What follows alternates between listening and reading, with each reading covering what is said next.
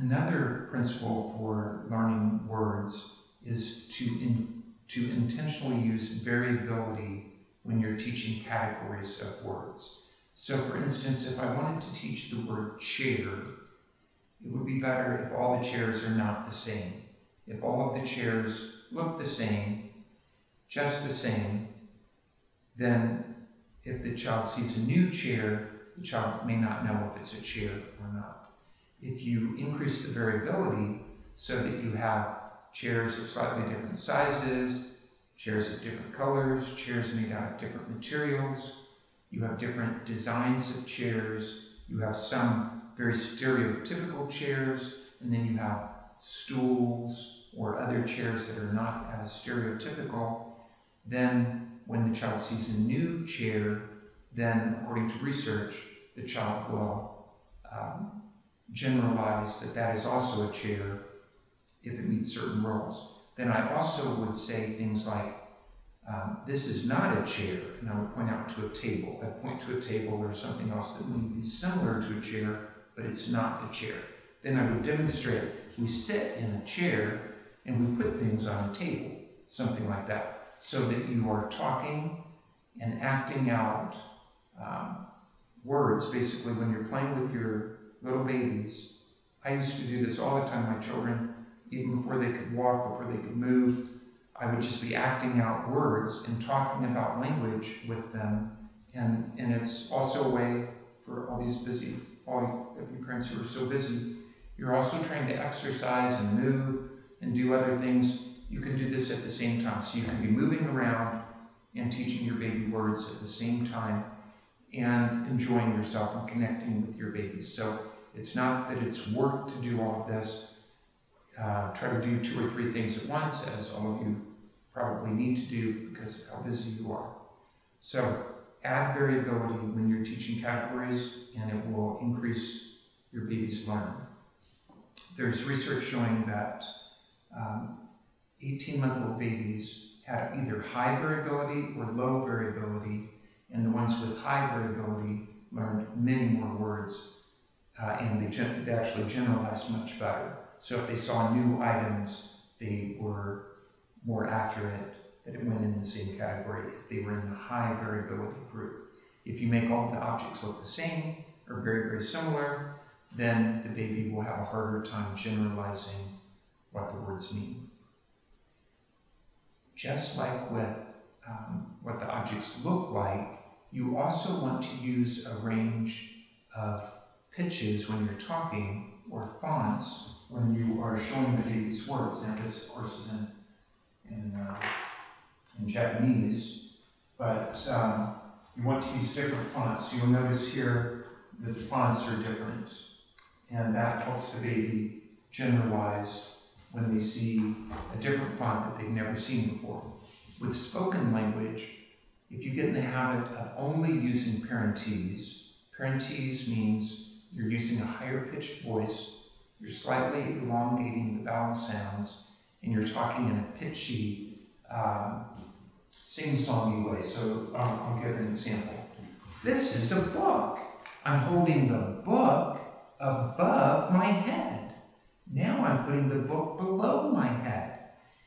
Um, if you only talk in that kind of uh, parentese pitch, pitchy voice with a really happy sound all the time, then if the baby hears the word book and it's not in the parentese, then it's harder for the baby to generalize. Now, again, I want parents to talk in parentese at least until the baby knows and understands around 50 words, and then you want to gradually reduce the parentese and use more uh, a normal adult uh, way of speaking, but also in a happy voice. I'm just saying, don't only speak in a super happy voice because if the baby hears a monotone voice, the baby won't recognize the word according to research and early on. So ideally, the babies would get to hear men, women, boys, and girls because we all speak with slightly different pitches and slightly different ways, and even two women or two men will say the words in slightly different ways. So, and people from different parts of the country or different parts of the state or whatever will also speak in different ways. So ideally, the child will hear a wide range of different people speaking so that they can understand the words more easily and generalize to what, what people are saying. Um, the diversity of language should change over time. So initially, with young babies, you want to say the same words over and over and over. I recommend starting off with about five objects and then some body parts like nose, mouth, ears, and so on, uh, and a few words. And you will repeat these words hundreds and hundreds and hundreds of times. Every day you will say these words many, many times. But once your child learns the shape bias and your child understands at least 50 words, then your child will start learning words very rapidly. That's when you want to increase the number of infrequently used words when you're speaking or when you're reading with your child. So initially, you focus on saying the same words over and over and over, many, many, many times, hundreds and hundreds of times, and you show many different examples of the same objects. So you'll show 20 different cups or more, 20 different chairs. Um, you'll touch your baby's nose, your own nose, pictures of a whole bunch of different people's noses, all the people who come into your home, you'll show them clapping and waving and all these same words over and over and over. But you have to ask your, your baby questions. And even five month old babies can answer the questions. And then they can let you know if they understand what the words mean. So, for instance, if I put two objects over here, let's say a book and a cup, and the baby's up close, I could ask my baby, which one is the cup? Now can you look at the book? Something like that. And you can tell what, the, what your baby knows by where they're looking. So obviously you would need to ask the baby the same question quite a few times to increase your confidence level that the baby actually understands it instead of it just happening by chance that the baby looked at the correct or incorrect object. So asking your baby questions is very important. And there's research showing that most parents do not do this until around 12 months of age.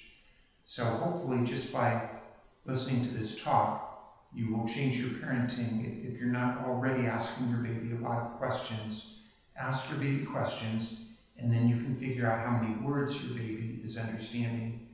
And once your baby understands consistently at least 50 words, then try teaching your baby a novel word a word the baby does not know. It can even be a made up word, uh, just so you know for sure that the baby didn't know the word. And then if your baby learns that word very quickly, then that lets you know you need to start increasing the number of infrequently used words rapidly. So I used to go around our house and I would point out everything. And no matter what environment I'm in, I can easily find that I don't know the names of certain words. So usually there are more objects in the environment than what I have here. But um, this is a remote control. Um, and there are buttons on it, but I would try to find something that I didn't know uh, what it was. Here's an on-off switch. I would point out every single thing that's in the baby's environment, every single button. I don't know what that button does, but the point is you have an object, you talk about it in detail. You talk about every single part of that object that you know. And then you uh, teach your baby lots of words that they would not have learned. If I don't know a word, then when someone would come into our home, I would ask them, What would you call this? What would you call that? And then I would try to learn the words, and then I would teach those words to my babies. They tended to remember the words. I would usually end up forgetting the words, but babies uh, don't need to hear the same words very many times uh, during this short window when they're learning words so rapidly, and they can remember them for a very long time. So, one of the most important things to do is to read to your child a lot. If you read a lot to your child, then you'll come across many new words that you wouldn't normally say. So, there are more infrequently used words in children's literature than in college educated adult speech.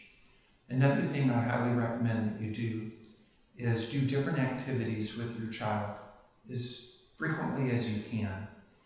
Uh, for instance, if you play with Play-Doh, uh, there are different words that you're going to use. If you're playing with a toy train or toy cars, or you're making roads in the sand, or whatever it is you're doing, there's a different vocabulary that comes with that. If you're doing some physical activities with your baby, let's say you're rolling and doing gymnastics kinds of activities, there are different words that you use by doing different activities. Later, when your child is a little bit older, um, you could introduce uh, all sorts of sports activities.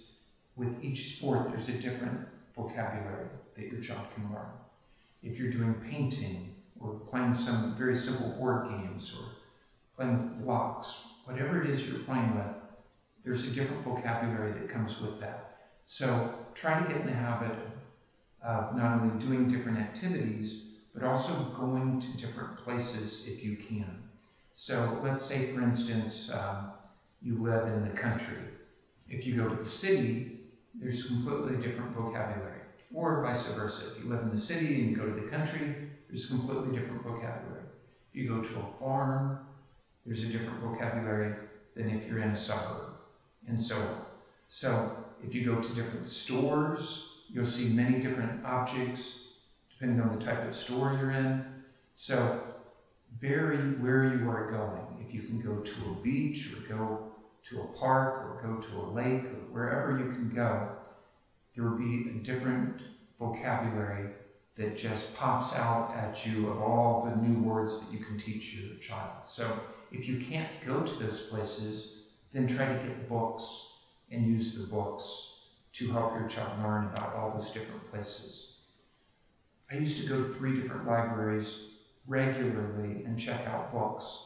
And we had three different bookcases from different libraries. And, and I would put the books that I checked out from one library in one bookcase in the next library because there was a limit of the number of books at each library and also because my children read at very fast speeds and they would end up reading many, or if not all of the books on the topics they were interested in at the different libraries. So I would go to different libraries and you need to have a house that has so many books. Almost no one can have a house that's big enough to store this number of books or have enough money to buy this number of books. You need to go to the library frequently and check out. I'm recommending hundreds of books a month, which I know will sound like a very large number. Try it one month and read um, most of the books you will end up reading. Some of them you will think, oh, I don't like this book and you just put it to the side, you return the book, and you've never read it. Um, check out books on many different topics nonfiction, fiction, mostly uh, books with pictures. Some of the books will be very easy, some of the books will be a little bit too advanced, maybe. If you spend a lot of time figuring out which books to check out, you will spend a lot of time doing that. I used to check out the books very quickly, and then if uh, we liked the books, I would remember sometimes, or my children would remember if they were with me. And then I would check out a lot of the books again. Some of them, um, you know, you will go through once and you won't want to read it again. But read so many books and turn off the TVs for the most part. And try not to be distracted by your phones and other things and get in the habit of reading as much as you can. And this will help your child's vocabulary greatly.